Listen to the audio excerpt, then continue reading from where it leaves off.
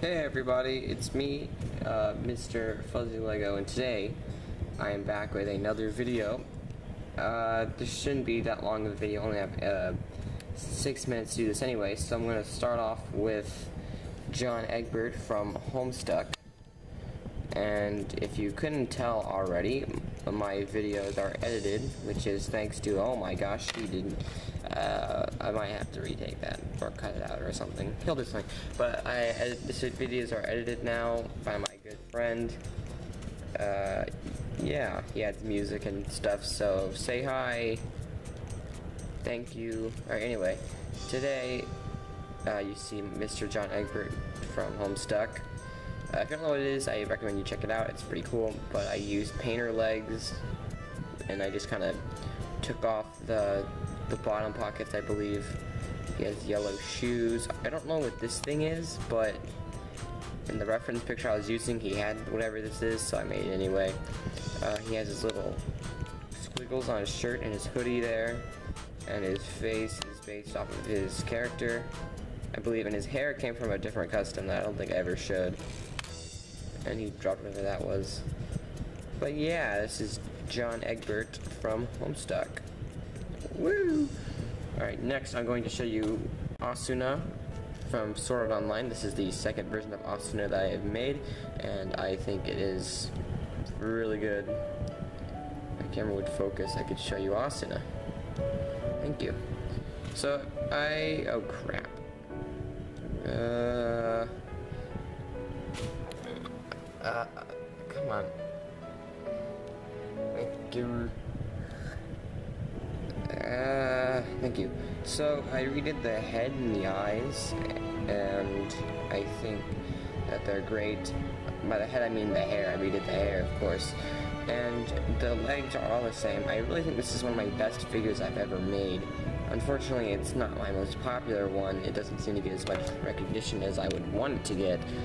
But yeah, I think it's great. She has his, her red sword, which is not, I don't think she has a red sword in the anime. But I just gave it to her anyway because she already has red. That's supposed to be a little like sheath thing. Uh, yeah. My old version of Asuna was really, really bad. And this time, she actually does have awesome hair. As before, she did not have awesome hair. It's awesome. Uh, and I'm not gonna make that joke again. If you're wondering, I'm not gonna do that. Alright, so that was Asuna, version 2 from Sword Art Online. Uh, the next one is Palutena from Kid Icarus series, or I based this one off Kid Icarus Uprising. Uh, yeah, I spent a little time on this. The shoes definitely took me a really time to do. The dress, like the bottom dress down there, took me a really long time to make with all the different colors and different like dress pieces and the hair is just a piece of paper that I didn't care about. Uh, her, she has her staff here and her eyes are pretty good. I'm gonna try to zoom in on those eyes. She looks pretty. Um, yeah, she got like her little shield thing there and overall I think it did a pretty fantastic job on Palutena. I don't think gonna be remaking her anytime soon. So that was Palutena from Icarus. Um, I think that's all the figures I really wanted to show you. I don't have anything else, but I will show you work in progress.